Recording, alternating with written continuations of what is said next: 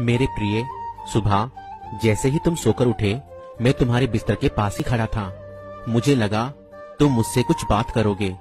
तुम मुझे कल या पिछले हफ़्ते हुई किसी घटना या बात के लिए मुझे धन्यवाद दोगे, मगर तुम फटाफट चाय पीकर नहाने के लिए चले गए, और मेरी तरफ़ देखा भी नहीं।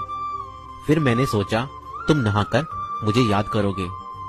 मगर तुम इस सोच में पड़ गए कि आज तुम्हें कौन से कपड़े पहनने हैं?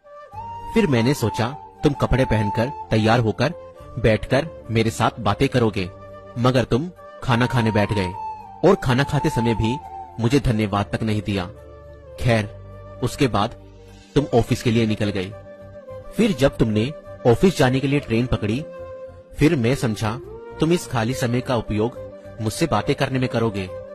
मगर तुमने फट से अपना मोबाइल फ़ोन निकाला और सोशल मीडिया पर रील्स देखने लगे, और वीडियो गेम्स भी खेलने लगे, और मैं खड़ा का खड़ा ही रह गया।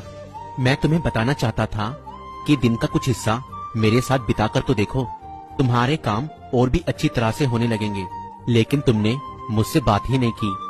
क्या आप भी ऐसा करते हैं? अगर आप अपने आप को एक मसीह कहते हैं, और यीशु को अपना पिता कहते हैं तो उसके साथ समय बिताएँ।